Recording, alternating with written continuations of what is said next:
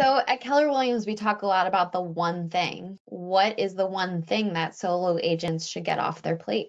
Well, I would definitely say absolutely the conveyancing. And in this day and age, you know, if you think about it, uh, well, first of all, KW, we talk about red light, green light. You know, you don't spend money that you don't have.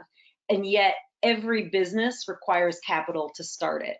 So a lot of agents get themselves into trouble when they join this business because they don't have three to six months of expenses built up in their savings account. You know, so then they start making uh, decisions based on scarcity, and then that's where the enjoyment of the business is low and the, the stress level is high. If you approach it like you're starting a new business, which you are, and have some capital in the bank to you know tide you over until your first settlement and you have some money in the bank that you can apply towards business services in this day and age yeah like social media if i were getting into this business new i would absolutely need to leverage that because it is not my strong suit. I don't enjoy it at all.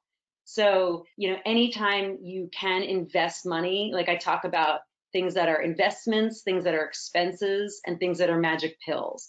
So a magic pill is like buying zillow leads. That you're going to have to learn the skills to convert clients.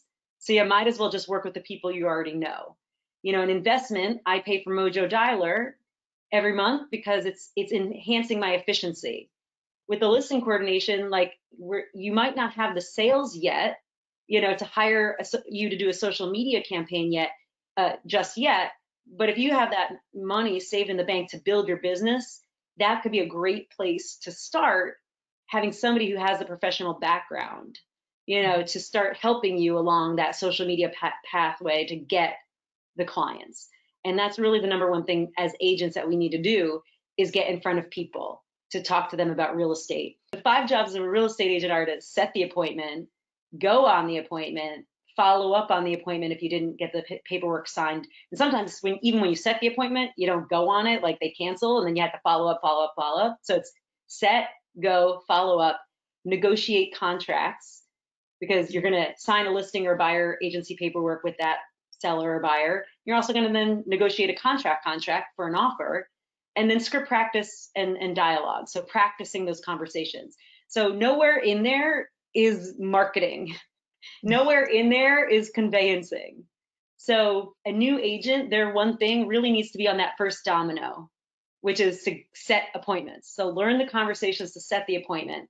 And then as you start to build traction, then you're building out your listing, you know, conversations. And then you're building out your follow-up. Well, your follow-up you should be doing all along. And then you're then you're learning, you know, how to really negotiate contracts. So focus on that first domino and then move along the path as your momentum builds. Got it. No yeah. administrative.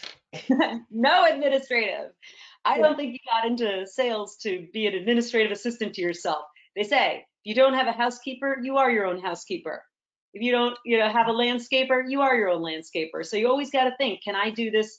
Uh, can I pay somebody to do this more cheaply? And in the beginning, you're not making money, so you might be thinking, well, I'm paying them $25 an hour. My hourly wage right now is zero.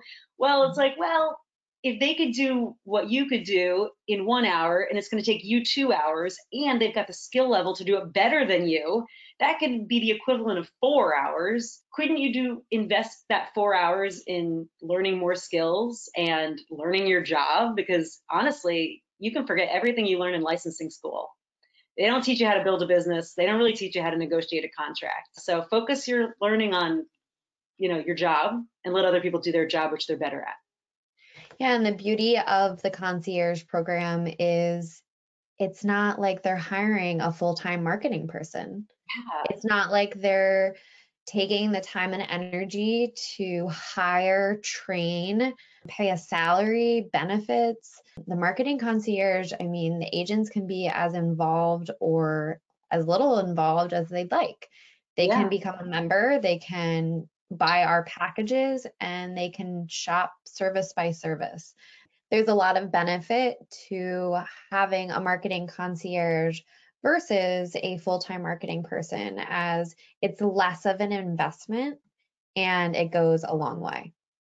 I know what you're saying, Erin, is true because there are, there are people that have built businesses at KW on hiring for you because the mm-hmm. hiring process, if done well, is a full time job. As soon as you take your eye off of your lead generation and, and building your business, you're slowing down and then you're starting to wonder can i even hire this can i even afford this person?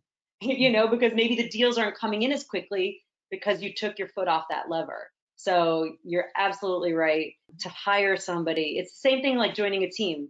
To hire somebody that works for you exclusively it takes a lot of time and skill you know and know-how. So to outsource it is brilliant. Absolutely